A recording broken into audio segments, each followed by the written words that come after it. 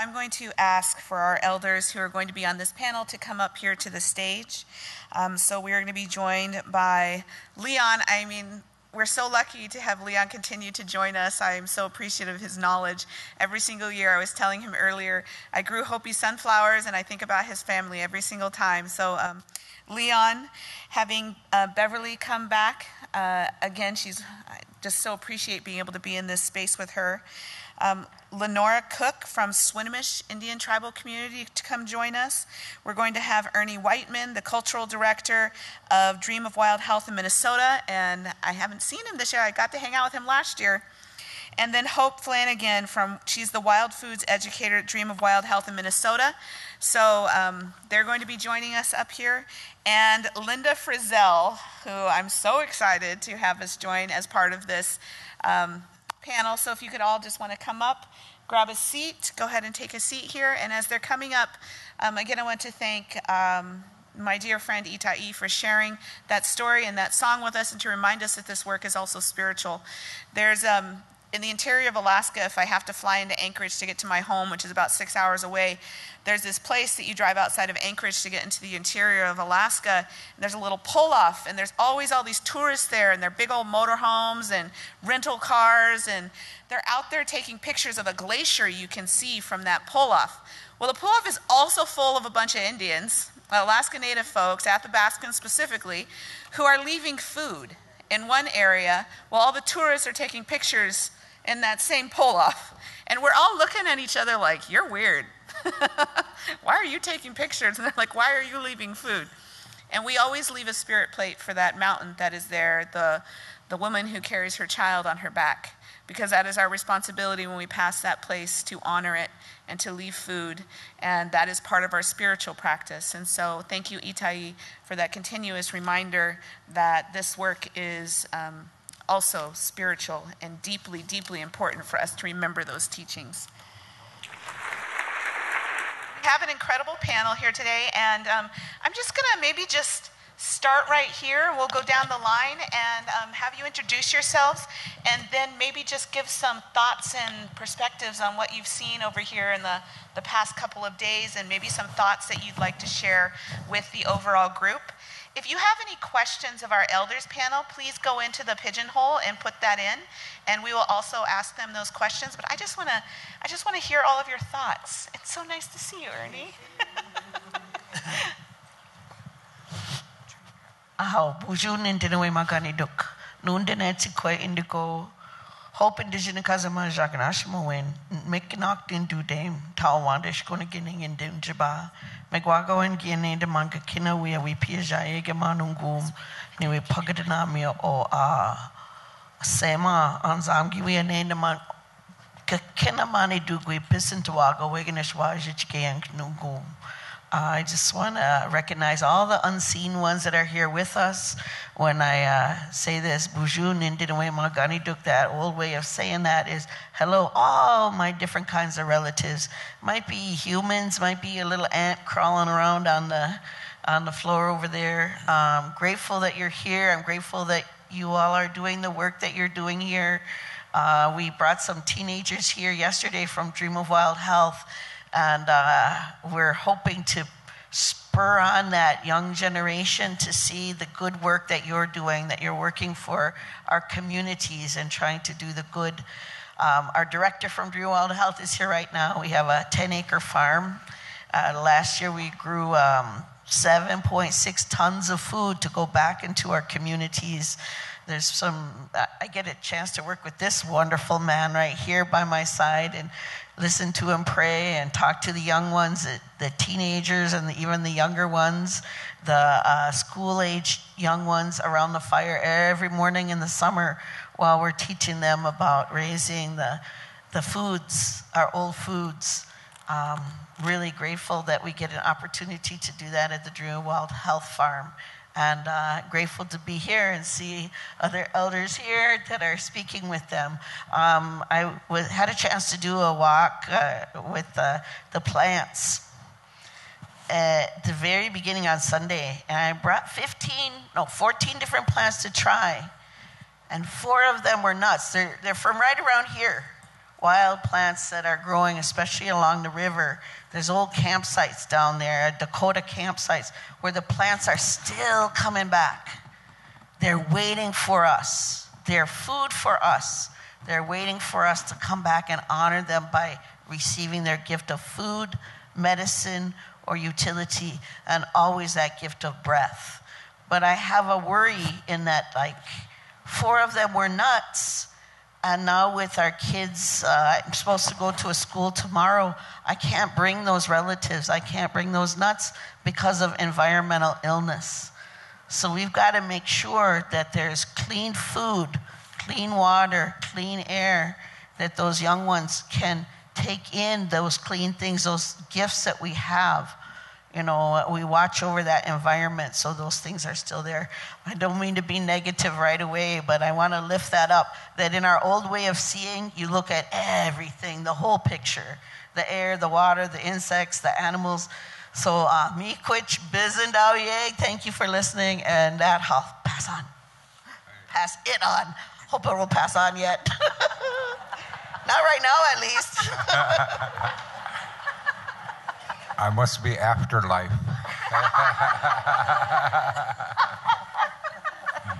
yeah, some days I feel like that, you know. But uh, I'm blessed to be here. Um, I'm very, I'm very honored to be here. Um, my name is Date Bae, and uh, in my, in my, uh, with my people, the Hinane, the Northern Arapaho.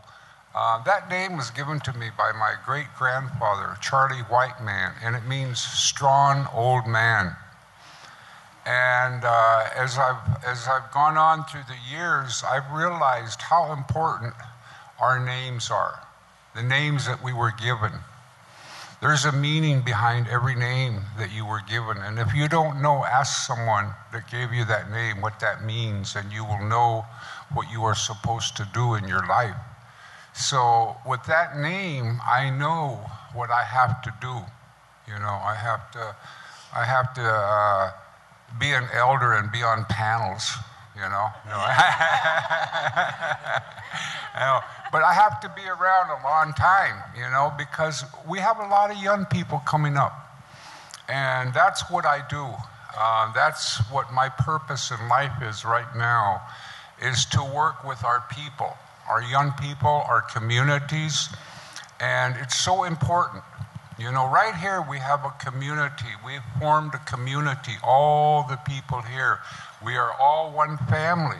We are all concerned about our people. We're all concerned about our communities. We're concerned about our health. We're concerned about our elders, our youth, everything. And that's the concept that I teach is the, the circle of life, how everything is connected in this circle.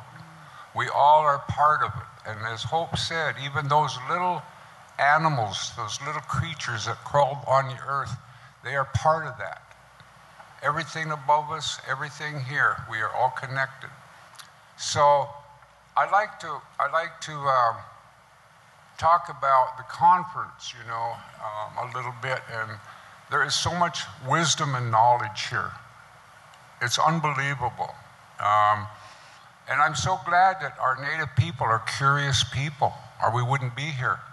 We all want to learn. We all want to understand what it is that we need to do for our communities. Um, I can't stress enough the food that's one of the things that we do is we raise organic food. We teach the young people how to raise their own food. Uh, what good is food if you can't cook it, right?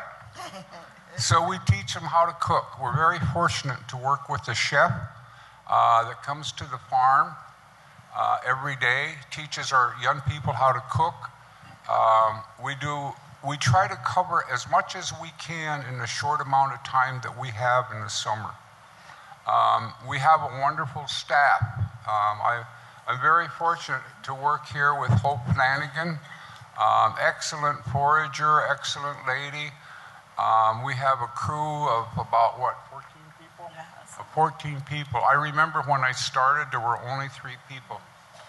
We would sit at a little table and have a, a staff meeting now we number 14 people. So we're growing. We're a growing organization, you know. And I think we, you know, to me, the youth are the, are the future. They are our future. At one time, we were young.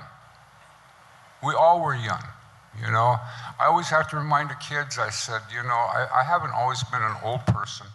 I was, I was, I was young once, you know. and uh, they kind of look at me and they say, yeah, I guess so, you know. But I was, you know, I was young and I was, I was, I made mistakes like young people do. But somebody has to teach them. Somebody has to teach our youth, you know. And so that's what we do. Uh, we work very closely with them. And with all this knowledge and wisdom that has been shared here at this conference, I'm able to extract things. I'm able to utilize information. I'm able to take that information back and incorporate that, incorporate that information into whatever I'm doing, you know? And so I want to thank all of you. I want to thank everybody here that we're able to contribute and share with all of us your wisdom and your knowledge. You know, it's very important that we continue doing this as Native people. You know, we've, we've been under that uh, divide and conquer mentality for a long time. And we have to break away from that. That's part of the illness, what we're recovering from. We've lost connections with each other. We don't have those connections that we used to have. I remember my grandmother would be traveling, and uh, she was going from Wind River to Pine Ridge, South Dakota. And I asked her, what, what are you going there for? She said, I'm going to make new relatives. So that's what you're all doing here. You're all making new relatives, you know, and we all, we all have the same concerns, you know, about everything. Um, one of the things, too, about food, you know, I was thinking about this the other day and I had a discussion with Hope about this. I said, but we don't look at ourselves as food. I said, of course, we always are told we're on the food chain, but we don't see ourselves as food. I said, if you think about it, we planted those seeds. Those seeds gave us crops, gave us food. The animals, we hunt the animals. We eat the animals, we eat the food we become that food. We become that food that we eat. So, in essence, we are a product of what we eat. We are the food. The old saying is, you are what you eat. That's true.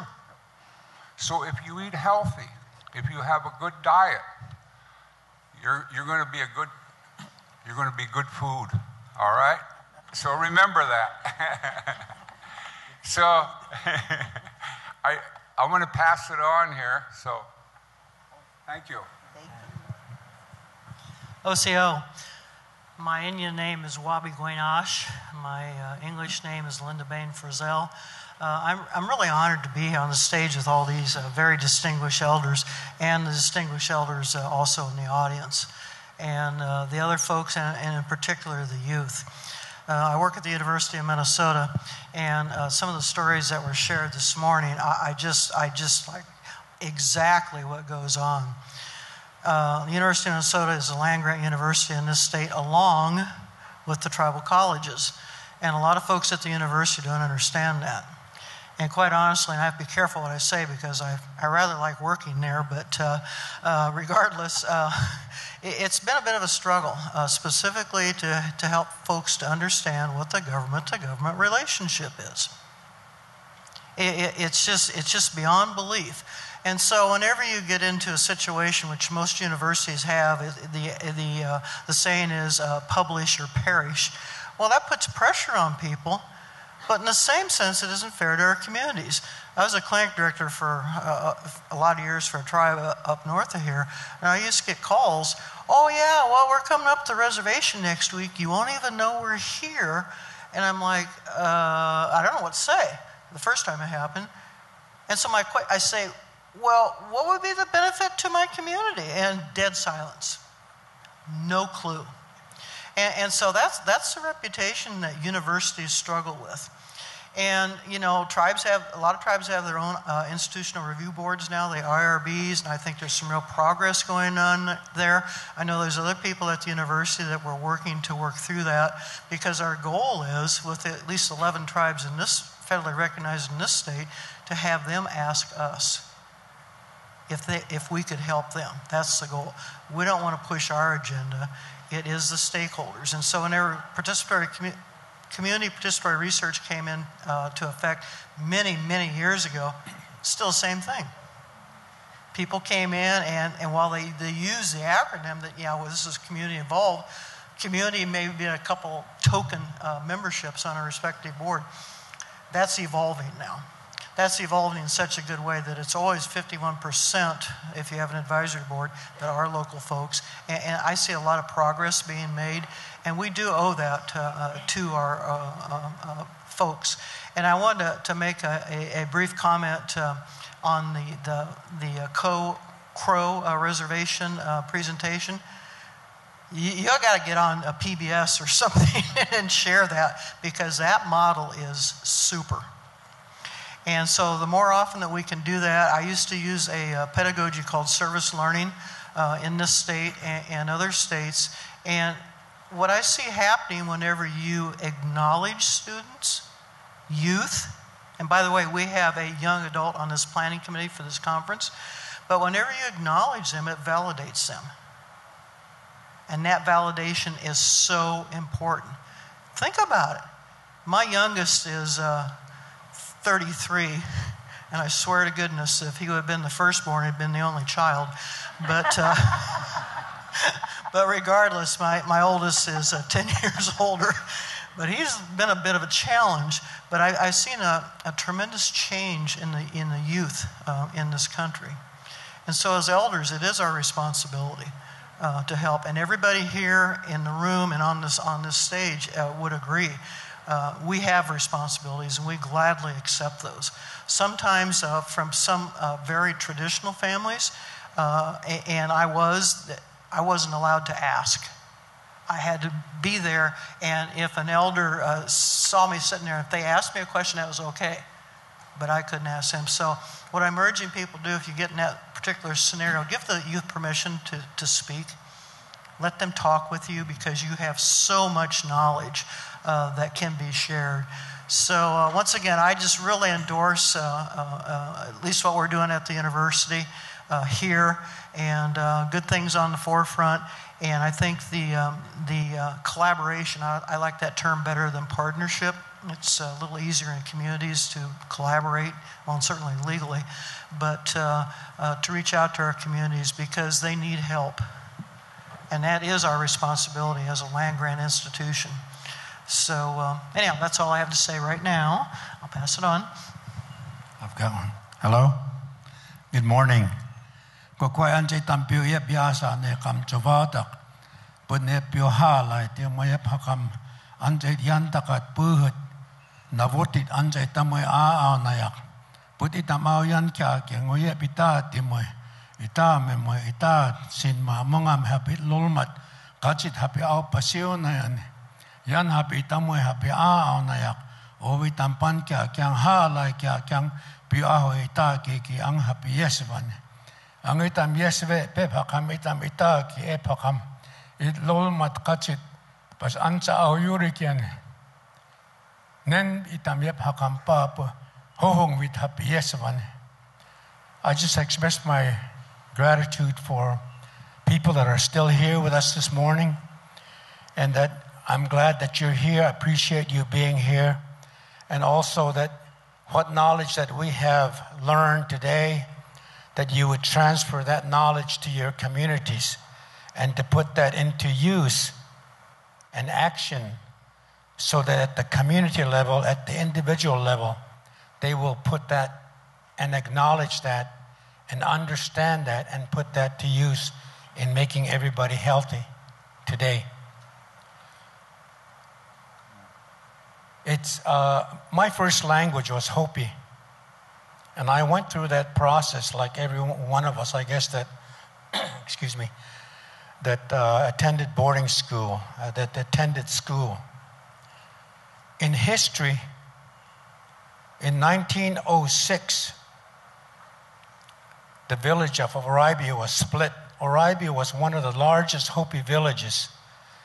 When they carbon dated some of the in, uh, um, uh, artifacts from that village, they carbon dated that to 900 AD.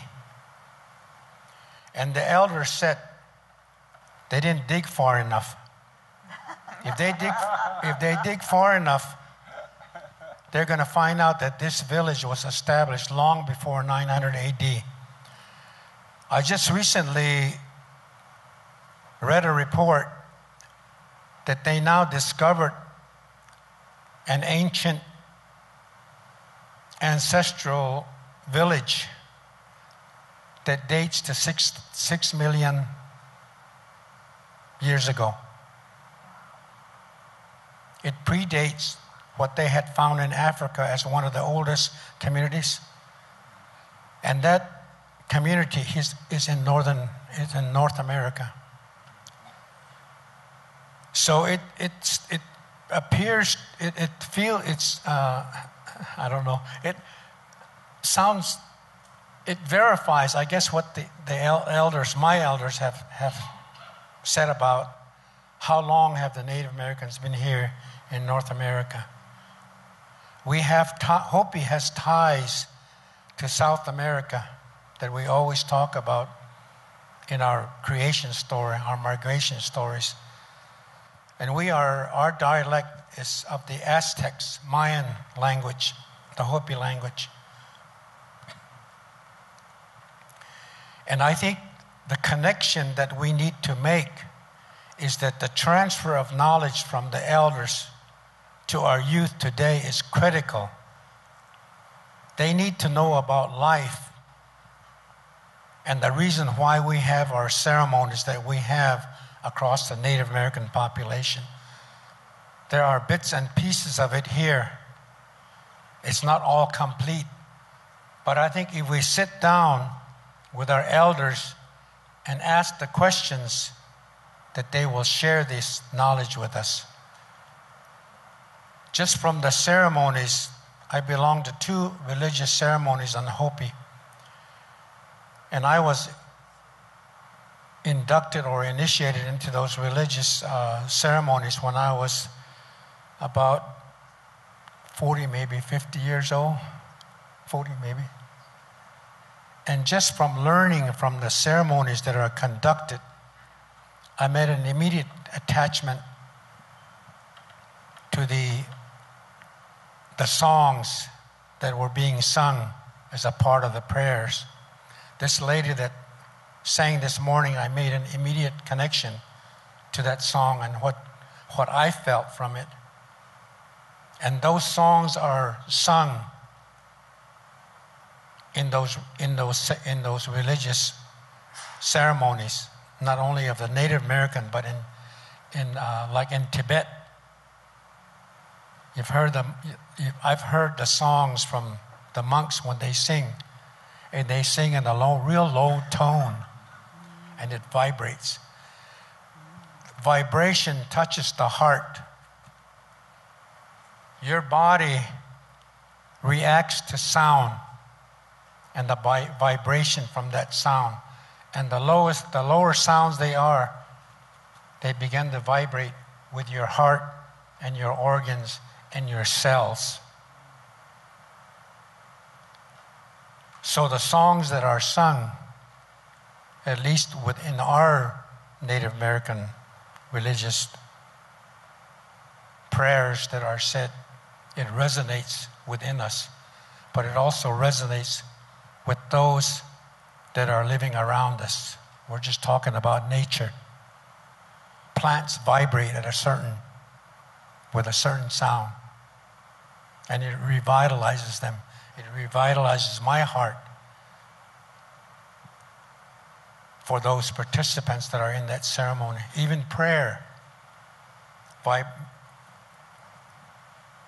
makes a part of your body vibrate. especially when this prayer is sung or in, is said in a, in a song like prayer. The other thing I wanted to uh, share with you about research is that we have uh, the research that we've been, the information that we're gathering from the research today. There's still another realm of research that needs to be done, and that is the religious portion that we need to document and to show that the religious portion of Native American is that that needs to be verified through research. But I, I think that the research model that we're using is not, not the right fit. It's not going to be able to do the job. And that's where I think our challenge is now. The universities, the Native American researchers that we have today need to change the research model that we're using to capture the knowledge that's there from the religious part of who we are as Native Americans. I watched a movie, I saw a movie that was uh, entitled Seven. I can't remember what the, what the name of it was, but there were seven events that were going to be, that was going to happen. And those seven events would lead up to the um, extension of life. Ex, did I say it right? life was going to end if seven of these events occurred. I was watching that movie, and there's one, one portion of that movie that, that came out to me that I, that I caught on to. He said, in the Jewish religion, in, the, in their Bible, they say that there's a place where the breath of life exists. And the breath of life is regenerated, revitalized through the prayers that are made with the Jewish people, that the songs that they sing, the prayers that they make. It, it revitalizes that, that place where the breath of life exists. It's called the Guf. It's called the Guf that's where the breath of life exists. And when a child is born, the breath of life comes from that guf and is given to the infant. The first breath of life that the infant breathes comes from that and it's delivered. And you know who delivers that breath of life and sees it? Well, not delivered, but you know who sees the breath of life coming down to the child? It's the canaries. The canaries sing when they see the breath of life coming down to that child. And the first breath they take comes from the guf.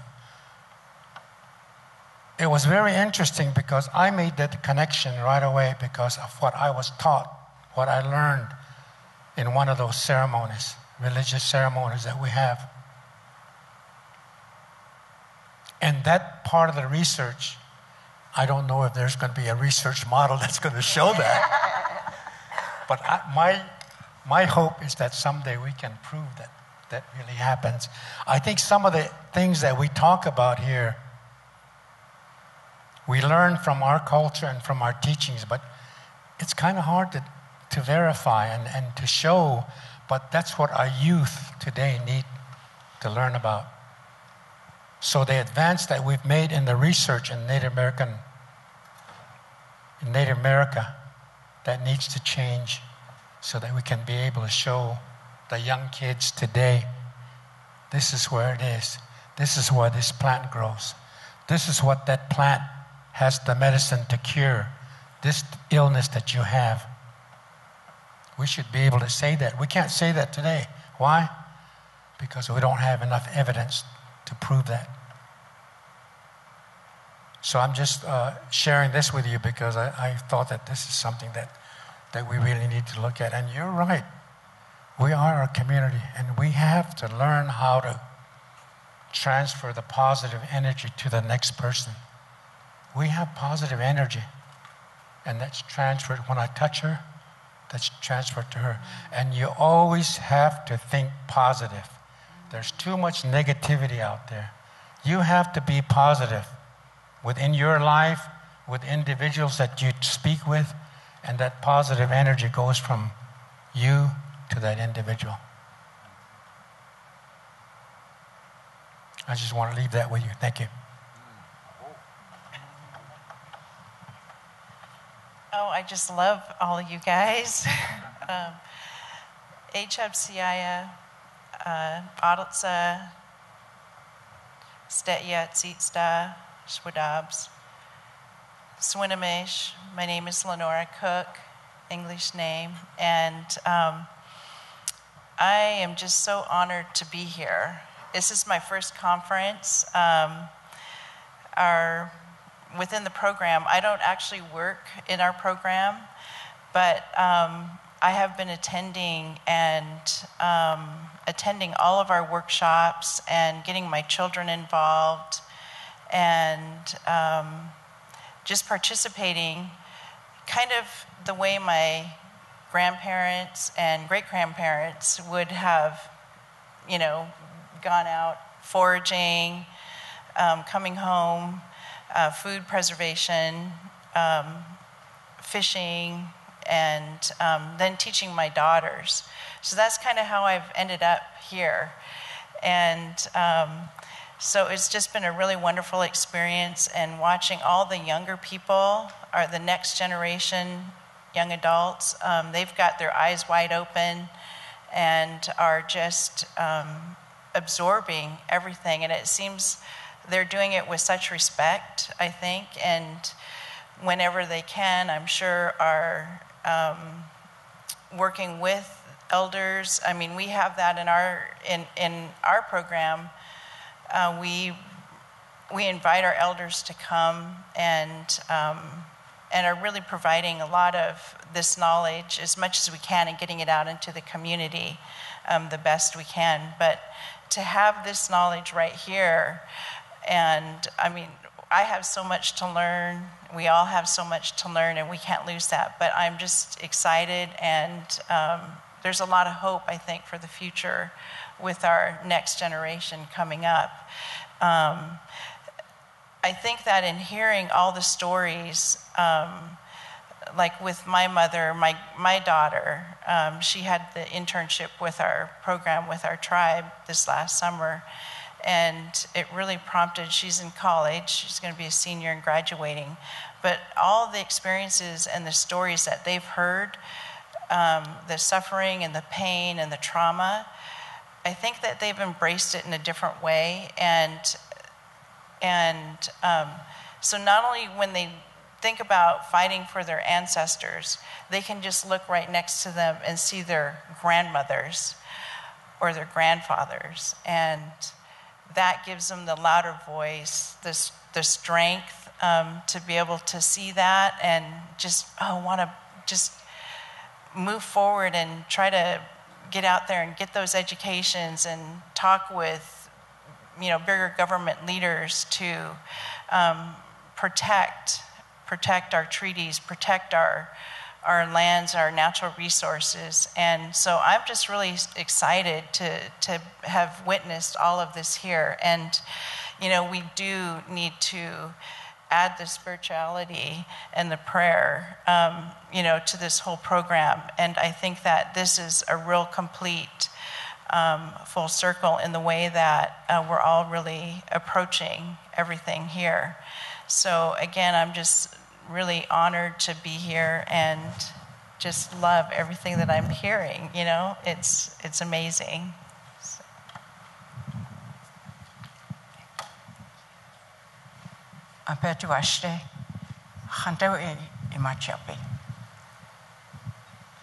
Good morning. My name is uh, Cedar Woman. That was my first name.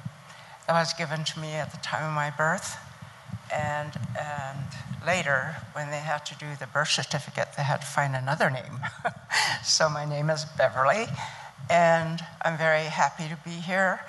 Uh, again, honored, just like the rest of the panel verbalized. I'm honored to be here as uh, elder I work with youth because I work at SDSU College of Nursing in Rapid City. And uh, the majority of them I, that I've talked to this semester know I'm here. And they're curious because I get so excited about, because I was here the past two years and I talk about this conference in terms of the inclusiveness and the, the knowledge that is shared, not just from the Western way of learning, but our traditional ways. It's good to share all that with everyone because we all come from different cultures, and this is a way to learn about others, other ways of being, other ways of knowing, and uh, validate that with each other. And this is what this conference does. The way it's, it's uh, planned, inclusive of age groups, and the way the researchers are coming up here with such caring and sense of resp- responsibility. You, you feel it with every one of them that they so much want to do the right thing. And I think they are. I think all of them have this great ability to teach everyone about what we can become as Indigenous people and as people generally. And I'm not just speaking about one group, I'm speaking globally. We know what's happening on our planet. And all of us have a responsibility to do something. It, it's, you can't change everything, but you can change whatever you're able to do in your own communities. If, if it's teaching the youth, do it. If it's mentoring, we, we all know how to, to pass on what we know.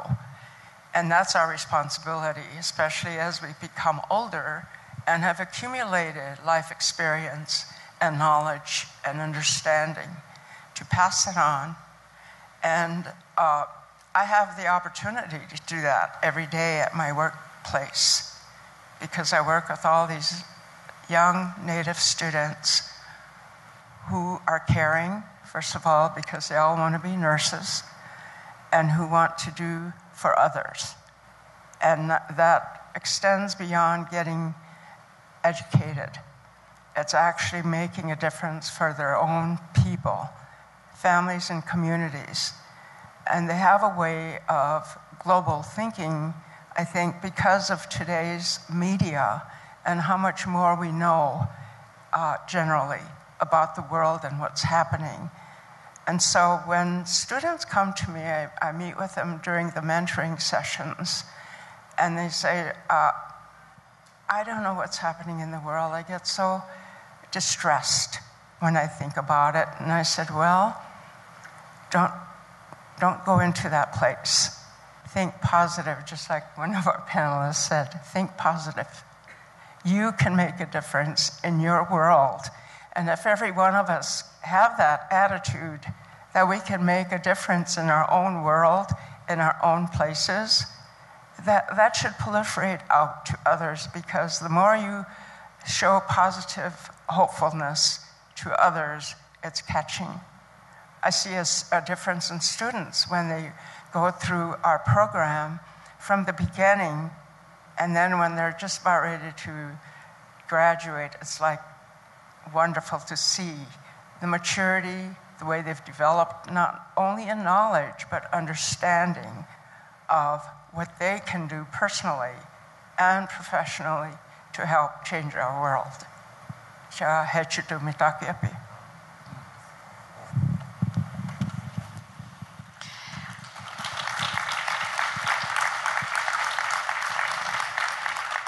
Isn't this just an incredible group of people? We're so lucky and blessed to have your knowledge here on the stage. And um, we had one question, and I think it's a really great question that came through for all of you, and I've um, Hopefully, it's coming up on the screen, but it's one that I think is really important because we do have a lot of non native people who work within our communities and they're really great allies and they have the best of intentions. And very often they'll hear you have to include the elders, but they don't know what that means sometimes. Um, it's a different value system that we're so lucky to have maintained in our communities. And I think everybody's world cultures had that value system, but it got lost. And we've been really fortunate to be able to hold on to that and can teach people and what it means. So it would be really great if maybe um, if you guys just wanted to touch on what you learned from your elders.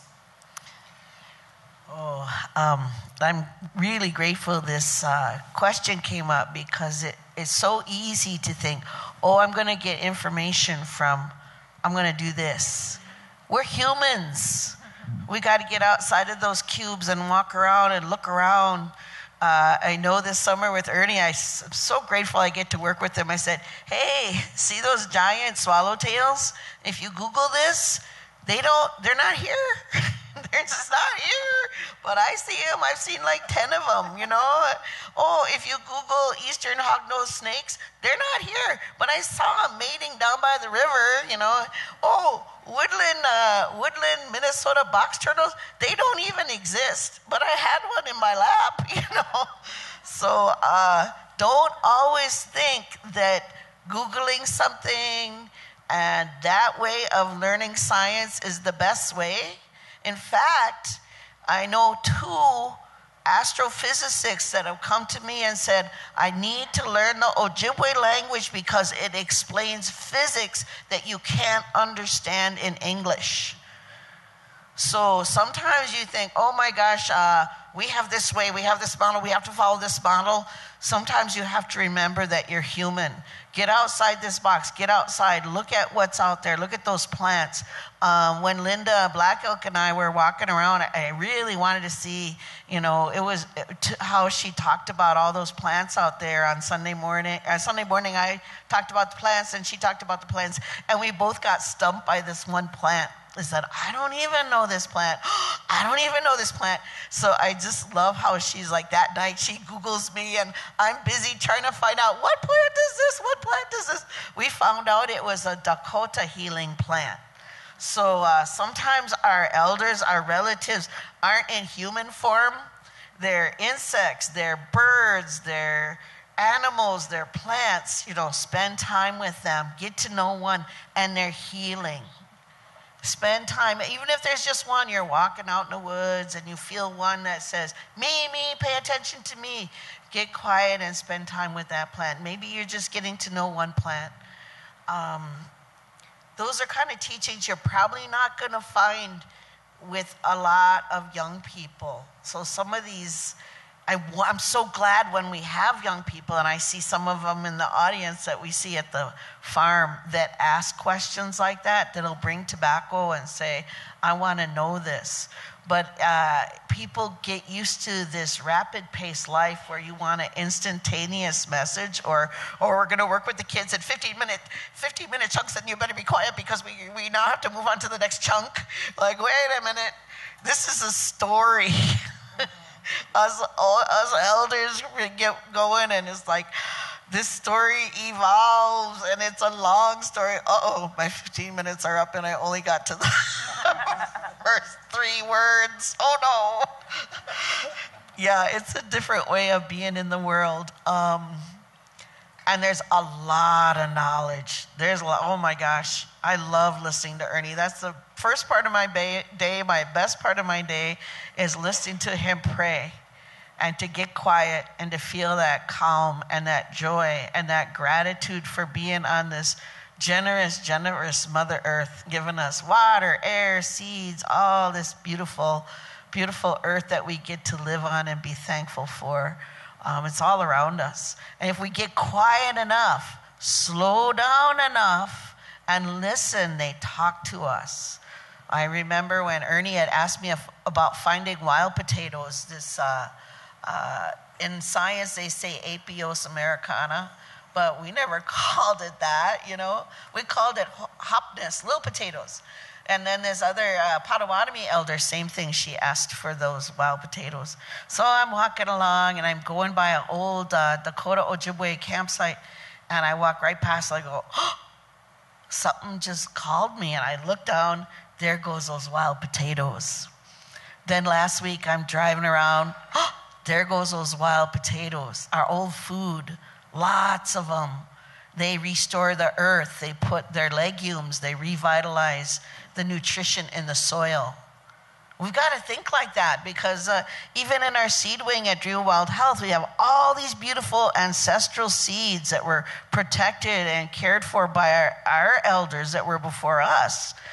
But if you take that beautiful seed that's so full of niacin and protein and uh, really good on the glycemic index and really good with uh, antioxidants, and you stick it in this soil that has been treated for maybe 50 years growing corn with no nutrients, no love, no care.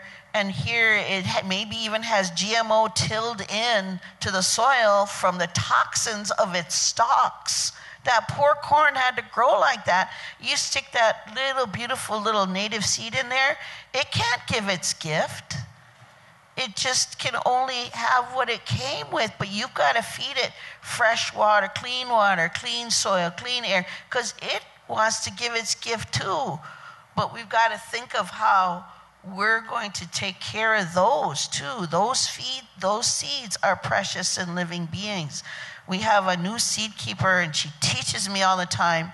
She says, uh, when you look at a cob of corn, that first third is for the insects, the deer, the raccoons, all the other li- living beings. That middle section is for seed. That last section is for the humans to eat. We can't be so greedy that, oh, we're going to grow corn and soybeans over all of Minnesota and say, oh, we're just going to feed it to the pigs and the cows. What are we thinking about, you know? And then we're going to till all these toxins that were broken into the genetic code and put right into the right into the plant so that we can earn more money. Are we going to eat money? Are we going to breathe money? Are we going to drink money? We've got to think about that. How, miigwech? Oh, oh. Yeah, if you uh, ever go foraging with hope, um, don't plan on going a long journey. she can walk uh, 20 yards and find all these plants and spend hours out there looking at these plants. And so it's very fortunate that we have hope to pass on this knowledge to our young people. You know, um, some of this knowledge, you know, um, a lot of us grew up not knowing. You know, um, Many of us grew up in a generation of uh, fast food. Uh, we grew up with all the processed foods, you know. I always blame the TV dinner for that.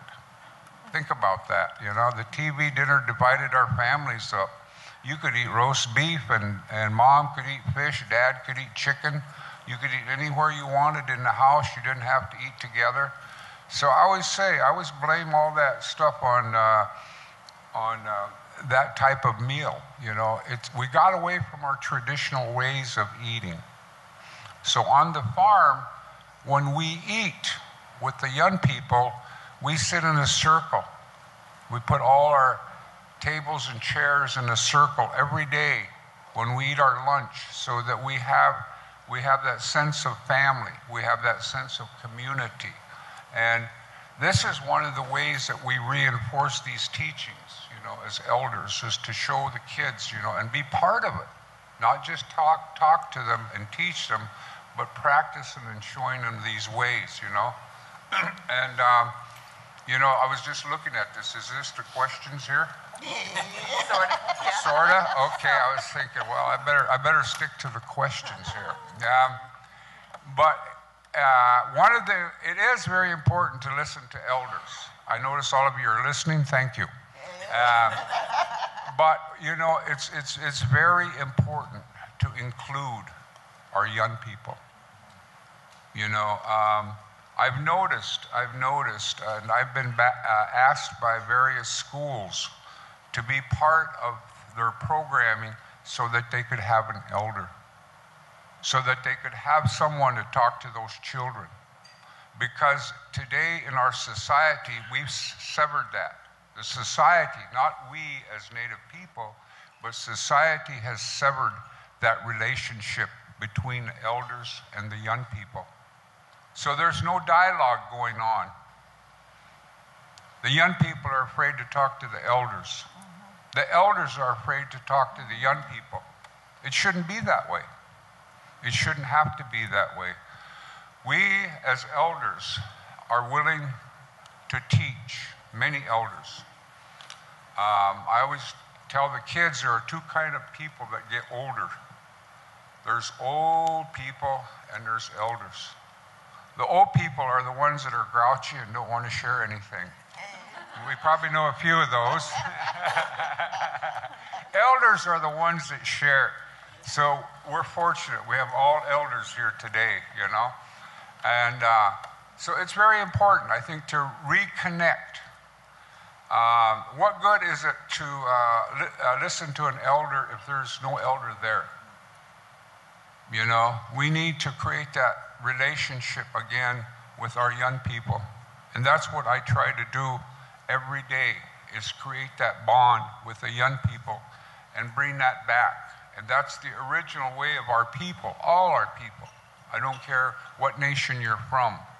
Our elders are the ones that pass on the knowledge and the wisdom. So it's very important, you know, that we do listen to our elders, but to include, to include.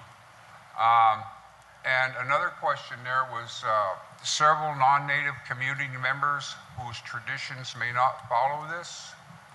Um, I think this is our role um, to educate. We've been educated by the system for so long. You know, um, the system has taught us many things how to think linear, um, how to uh, do things different than we traditionally did. And that's how we survive. We survive that way today. But I think we have to reverse that. And it's the same way with research. We have to find the mechanism, we have to find that way. And so, one of the ways I feel is to educate the non community members about your culture and let them know that before they even come to work for you. You don't do it while they're working, you do it before, and you know if that person is sincere. And I think it's the same way with research. You investigate, you check the credentials of people. We've all had our credentials checked, right? we all have an ID to tell us who we are, you know? So why can't we do the same thing? We have the same right. You know, we can do that also. So I think that, you know, uh, the importance again of youth and elders to me is the vital point of everything we do. Aho. Well, uh, I just want to say that whenever I was a youngster, I grew up in a very conservative family. And as I mentioned, I was taught to be seen and not heard. But most importantly, I was also taught whenever an elder told me to do something that I must do it, not to question, even though I pretty much knew that I knew more. But, but, uh, but regardless, the best thing was that elders are always correct. So there you go. And so I grew up with that, and I, I think it uh, helped me to um, uh, develop my values uh, of respect and so on. And, and so it was harsh. Uh, I do appreciate that. I don't see cohorts of folks, uh, at least I was born in 1950. Um, uh, there's getting to be less and less folks that have had that sort of exposure. But I, I wanted to just briefly mention what Beverly was talking about. I teach a class, and it's going on tonight. Uh, an American Indian uh, Wellness uh, Administration talks about laws and, and different uh, uh, legislations and so on. I truly am shocked and appalled. My students, and this is going on the second year, have no clue, some of them, that American Indians even exist. I've had stories from previous students at a different institute where her, uh, uh, the, it's a distance ed, where the, uh, uh, the student talked about her daughter who was five, uh, no, eight years old, and it was Heritage Week. And so everybody got to talk about their heritage. And of course, you know, um, her daughter shared about her um, Indian heritage. And you know what the teacher said? Oh no, that can't be right. There aren't Indians anymore. I get goosebumps telling that story. And I teach a class in cultural humility, and I, I share that uh, right up front. But what it's taught me is that, uh, as my elders had told me, because I'm just always concerned that the history is so mythized that we don't know the answers. And the history is told by the winners. If you think about that a little bit, it makes a lot of sense. And so it's our responsibility uh, as elders, as college professors, whatever, to help share that.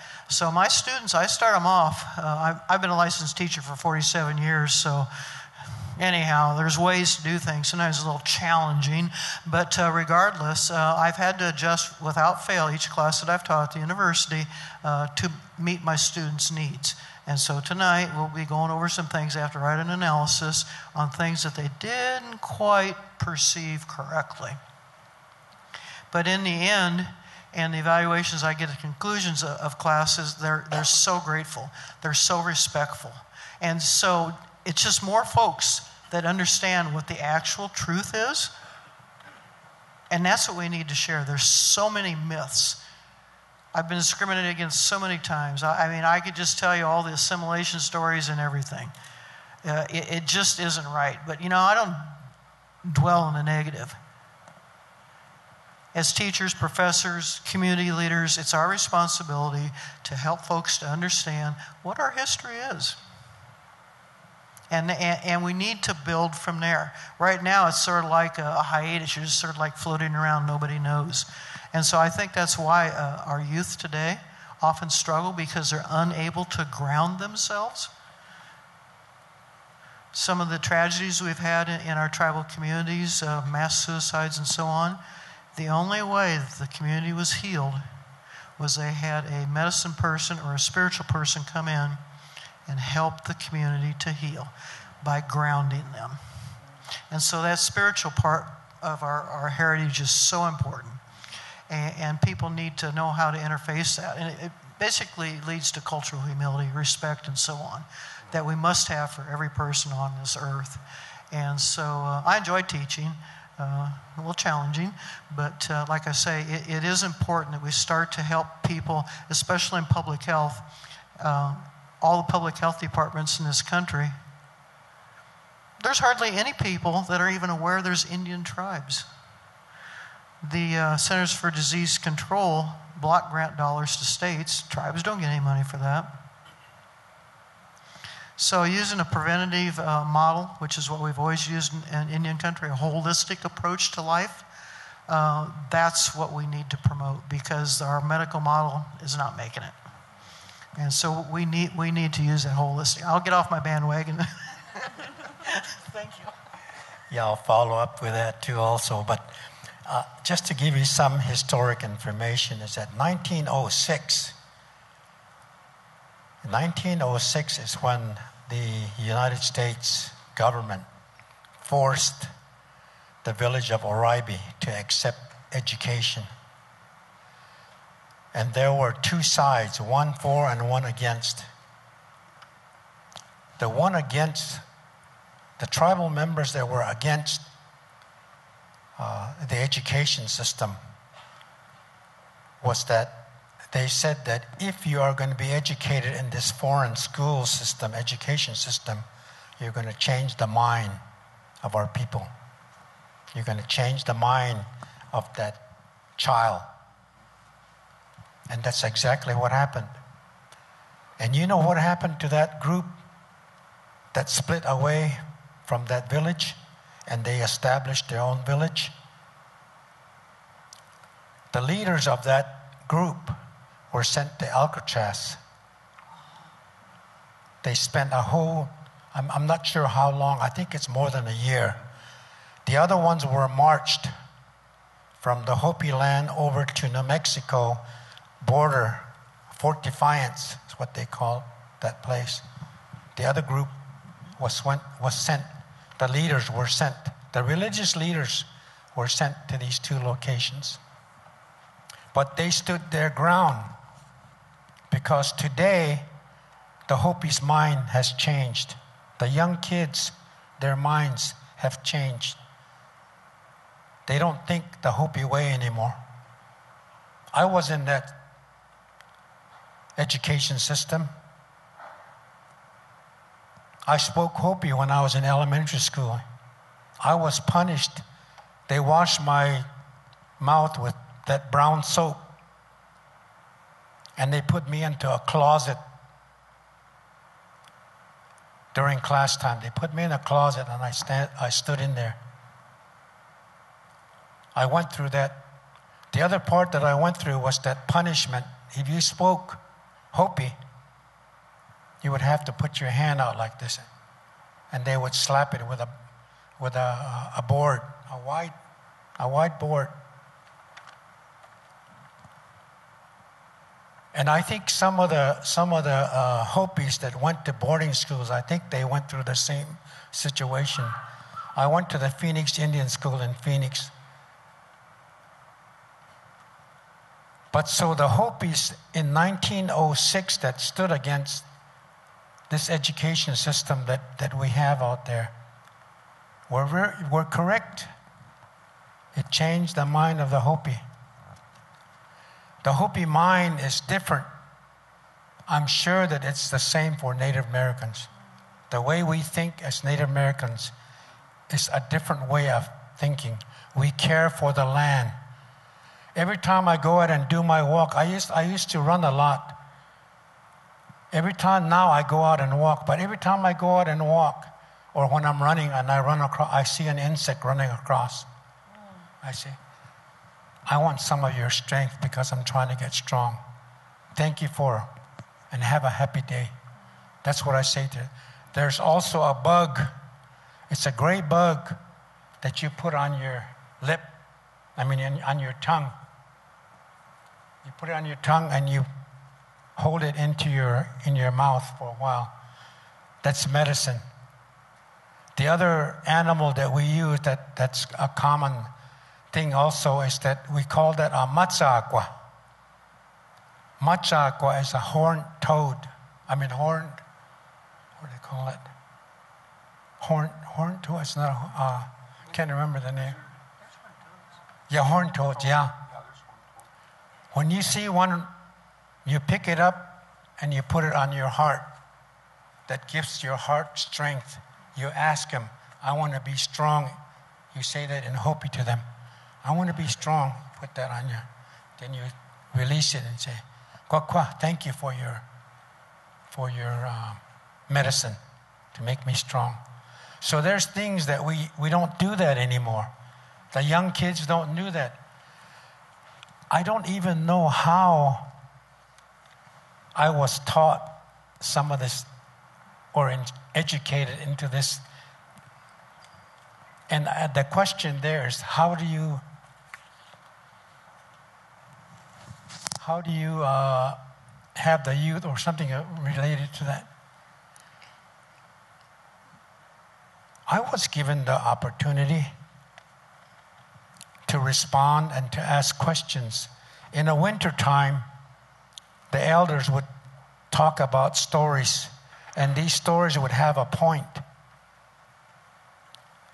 For instance, one story would be about res- teaching respect. That's why you need to be, show this respect because of this story. In the end, they would tell you that. Then, if you had a question, you would ask the question. Is that happening today? Hardly happening out there. That's why I was saying the knowledge has to be transferred from the elder to our youth. Change the thinking up here.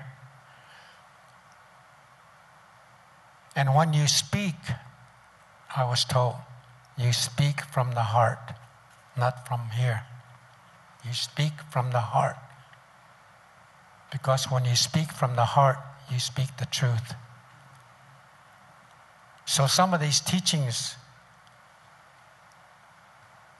you know, are there, but how do we how do we deal that how do how do we deal with that in teaching our our youth from the research perspective, from the educational portion? There is there's still a challenge there, but I think we're making headway. And that's what I really appreciate today is that I'm seeing that there's headway being made. We need our own researchers, Native Americans that can make a connection with what we're talking about here today.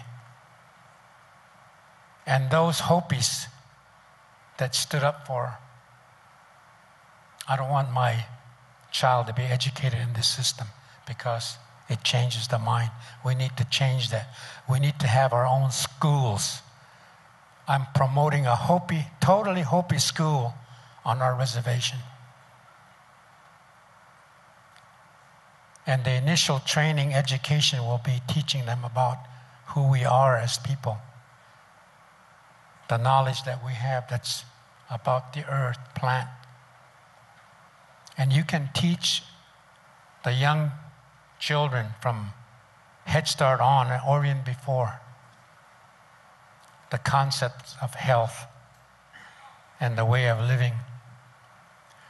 One thing I want to uh, just point out is that, uh, I think we're out of time, is that if, and I think I said this before, if you want a healthy population, you have to make sure that they're eating healthy foods, not contaminated.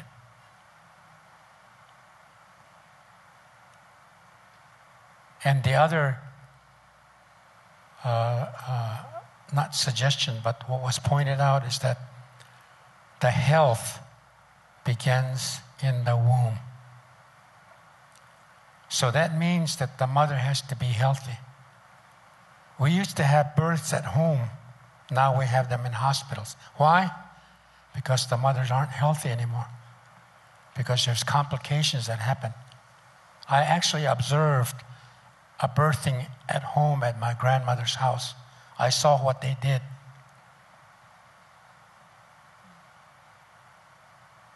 So it can happen. It really can.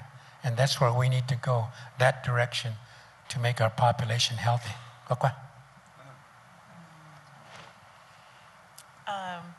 just in my experience with um, the question here that has been presented is that we, the director of the program is an elder, and then we have non natives working um, as well. But then when we are asked to do restoration work or we're going to do food preservation or food preparation, for our preschool program or the uh, healthy snacks for the for the employees.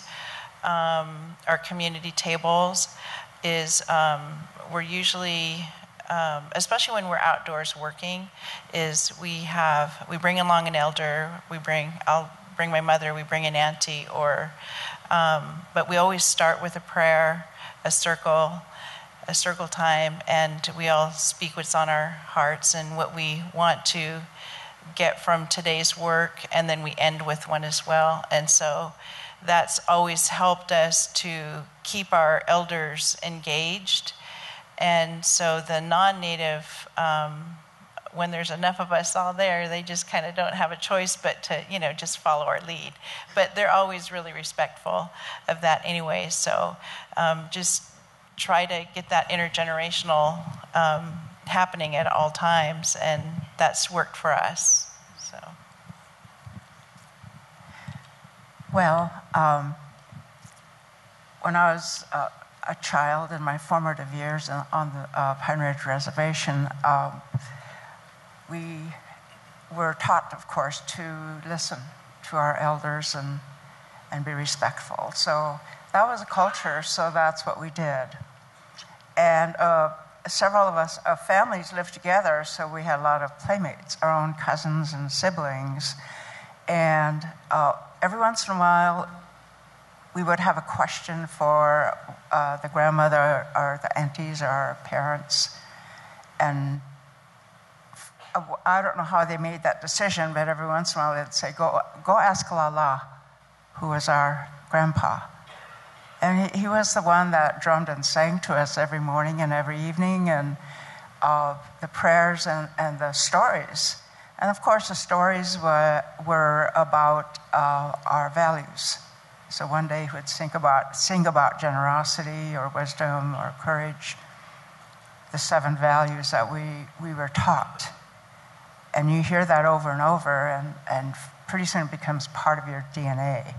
But um, so every once in a while we would be told to ask Lala. So we would, of course, but we had two older brother, uh, one uh, sibling and one cousin who wanted to get out there and play and didn't want to. So they would say,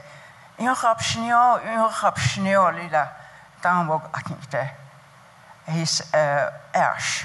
And then they would say, Don't ask him, don't ask him, he's just going to tell us a story. And the, the idea of storytelling is valuable uh, because what, what the, the point of the story, somebody asked, what, is it, what was the point of, of what we do? And his point was to teach us one of those values, but he didn't say, well, number one value is wisdom. You know, he, he, he just told you a story about someone who had wisdom. And he made the stories interesting, of course, but they were long stories because our language is so descriptive.